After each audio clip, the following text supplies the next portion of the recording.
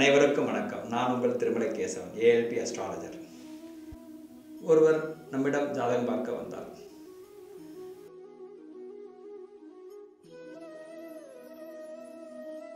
ஜாதகருடைய ஜென்ம லக்னம் கன்யா லக்னம். அவர்களுடைய வயது நாற்பது வயது.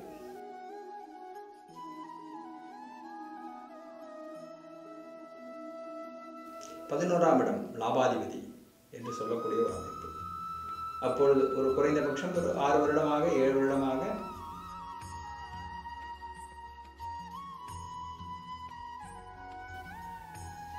இப்பொழுது ஜாதகருடைய ஏஎல்பி லக்னம் மகரமாக இருப்பதால்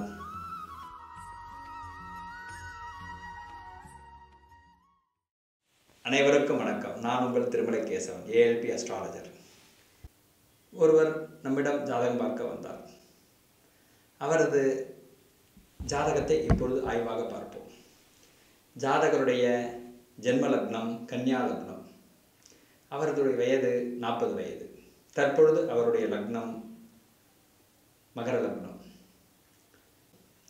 லக்னாதிபதி சனி பகவான் ஒன்பதாம் இடத்தில் நல்ல நிலையில் அமர்ந்திருக்கிறார். லக்னத்தை இயக்கும் நட்சத்திராதிபதி செவ்வாய் ஆறாம் இடத்தில் அமர்ந்திருக்கிறார். அவர் நான்குக்கும் பதினொன்றும் உடையவர்.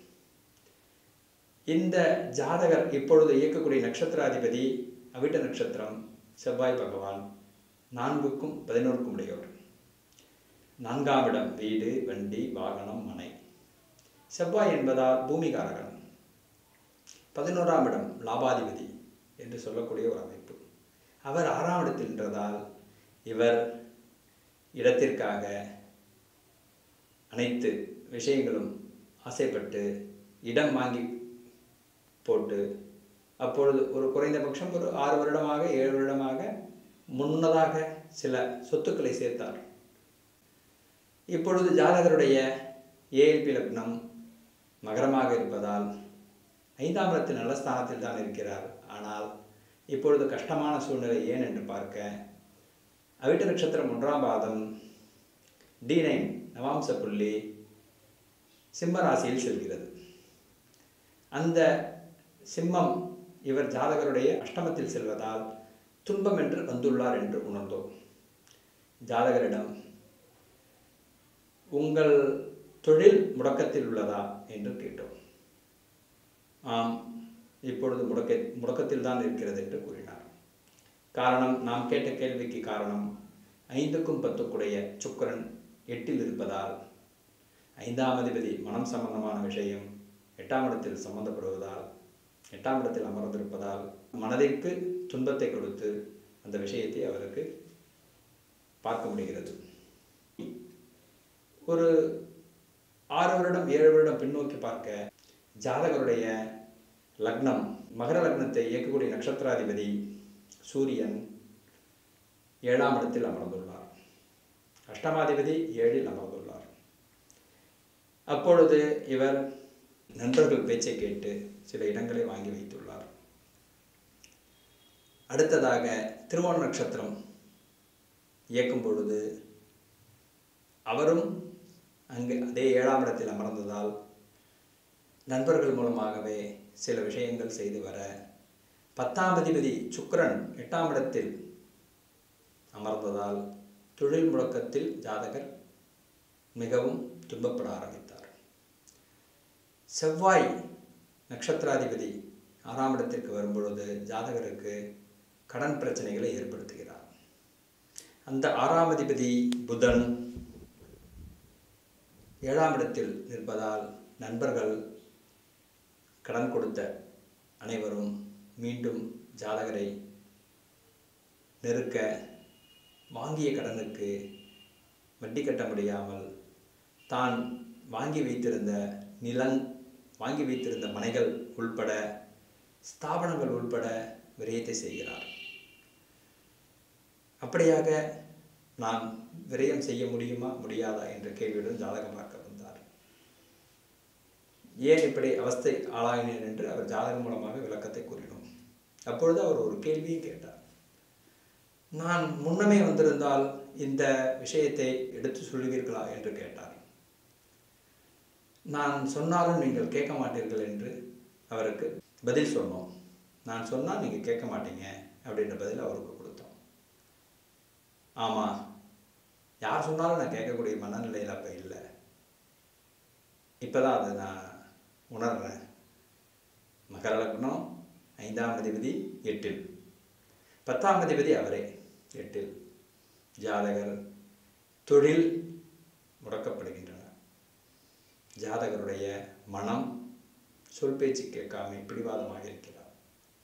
இப்பொழுது அவிட்ட நட்சத்திரம் செவ்வாய் இயக்குவதால் அவர் ஆறாம் இடத்தில் இருப்பதால் ரண ருண ரோக சத்ரு. நண்பர்களே எதிரியாக மாறி ஆறாம் அதிபதி ஏழில் இருப்பதால் எதிரியாக மாறக்கூடிய தருணமாக மாறி இந்த விஷயத்தை இப்பொழுது எங்களுக்கு உடனே கடனை பைசல் செய்யுங்கள். இல்லை என்றால் அப்படிங்கிற வார்த்தையோட இவர் வாங்கிய கடனுக்கு வட்டி கட்ட முடியாமல் தான் வாங்கி வைத்திருந்த மனைகள் ஸ்தாபனங்கள் அனைத்தையும் இழந்து இப்பொழுதும் சிறிது துன்பப்பட்டு கொண்டுதான் இருக்கிறார். அவருக்கு ஜாதக பலன் உங்களுடைய மகர லக்னம் மிக மோசமான சூழ்நிலையில் உள்ளது. மகரம் கடந்து கும்பலக்னம் வரும் சமயம் முதல் சிறிது சிறிதாக ஒரு முன்னேற்றம் ஏற்படக்கூடிய வாய்ப்பு ஏற்படும். கடவுளை மனதார பிரார்த்தனை செய்யுங்கள் அப்படி என்று அவருக்கு பலன் குறைப்போம் சில காலங்கள் கடந்து அவரது நடவடிக்கையில் ஒரு சில மாற்றங்கள் ஏற்பட்டது. அவரது உறவினர் ஒருவர் நம்மிடம் வந்து வீட்டில் எப்பொழுதும் எந்த விஷயமும் சொல்லாமல் வெளியே போவார். இப்பொழுது நான் வீட்டை விட்டு வெளியே போனால் எங்கு செல்கிறேன் என்ற வார்த்தையை கூறிவிட்டு செல்கிறார். அம்மாவையும் அப்பாவையும் நமஸ்காரம் செய்து வணங்கிவிட்டு செல்கிறார். அவர்களுக்கே அது ஒரு பெரிய ஆச்சரியமாக இருக்கிறது. எங்கு சென்றாலும் எதுவும் கூறாமல் செல்லும் மகன் இப்பொழுது இப்படி செய்கிறானே என்று அவர்கள் ஆச்சரியப்பட்டார்கள். ஜாதகம் பார்த்து அவர்களுக்கு பரிகாரமாக இந்த விஷயத்தை கூறியதால் இப்பொழுது கொஞ்சம் கொஞ்சமாக ஒரு நிம்மதியான சூழ்நிலை ஏற்படுகிறது என்று உணர முடிகிறது என்று அவர் தனது உறவினரிடம் கூறினார்.